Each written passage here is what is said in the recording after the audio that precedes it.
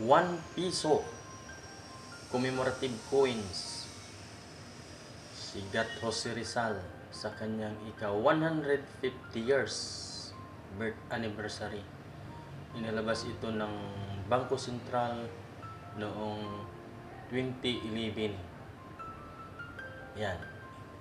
Meron ako nito tatlong piraso. Tatlong piraso yan. Commemorative coins. Ah, si Rizal. Meron akong isa commemorative coins din sa katauhan ni Padre Horacio de la Costa. So, nilabas din to ng ating pamahalaan, ah, Bangko Sentral, taong twin 2016 sa kaya sa kanyang ika 100 years birth anniversary. S- commemorative coins. 1 piso commemorative coins. Ah, Okay. Oh, but bakit nga ba si Padre Horacio de la Costa ang nasa piso? Ang nakalagay dito sa piso commemorative coins. Ano nga ba ang kanyang mga naiambag sa ating lipunan, sa ating kasaysayan noong kanyang kapanahunan? Atin pong alamin kung sino si Padre Horacio. Horacio de la Costa, Mayo 9, 1916, Marso 20, 1977. Isang bantog na manunulat, iskular, at historiador. Unang Pilipino na naging provincial superior ng Kumpanya de Jesus. Ipinanganak si Horacio de la Costa sa Mauban, Quezon noong Mayo 9, 1916 kinahukom Sixto de la Costa at Emiliana Villamor. Una siyang nag-aral sa Batangas bago lumipat sa Ateneo de Manila na kinikilala ang kanyang liderato at talino. Naging editor siya ng Gaidon at nagtapos ng EB Summa Cum Laude at may Bachelor of Arts degree. Noong 1935, pumasok siya sa seminaryo ng mga Hiswita sa Nubalitsis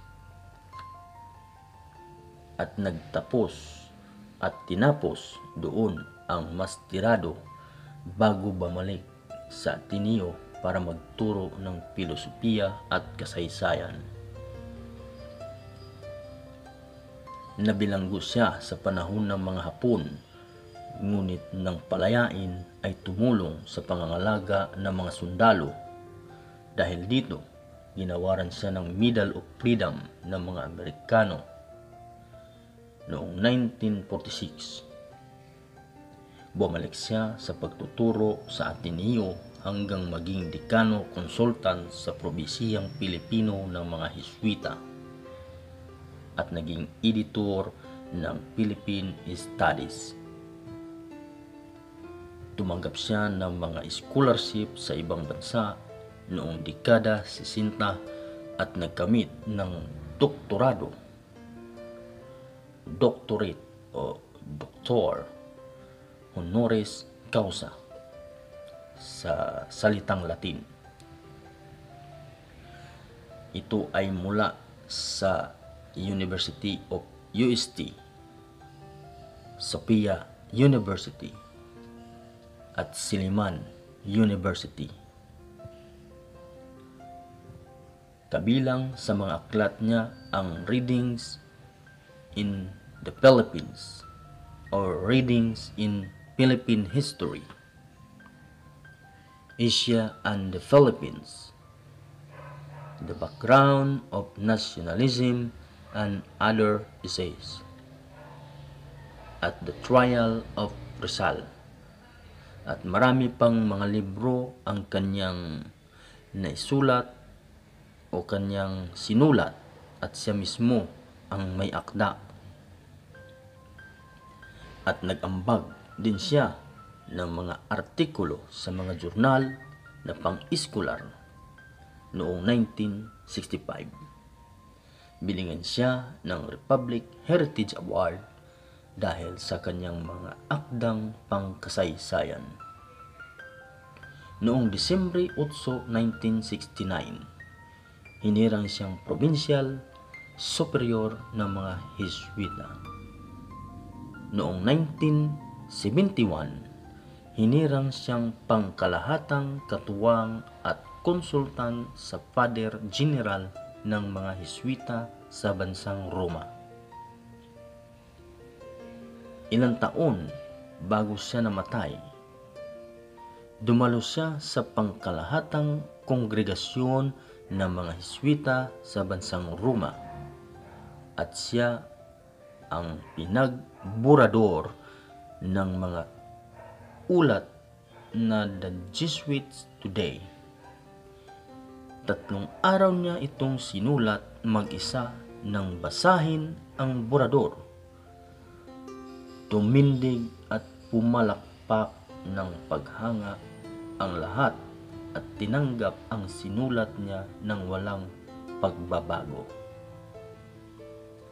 Namatay siya sa sakit na kanser noong Marso 20, 1977. Malaki ang niambag o naiampag sa ating kasaysayan, sa ating lipunan, ang ating mahal na si Horacio de la Costa sa kanyang kapanahunan.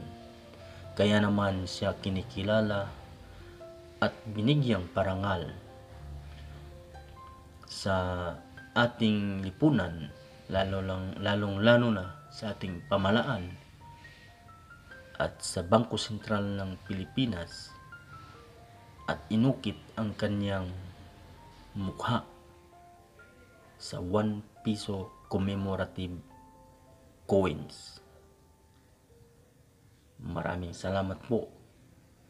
Iyan po ang kanyang ah, historya or aking istorya sa commemorative coins na may mukha ni Horacio de la Costa. Maraming salamat po.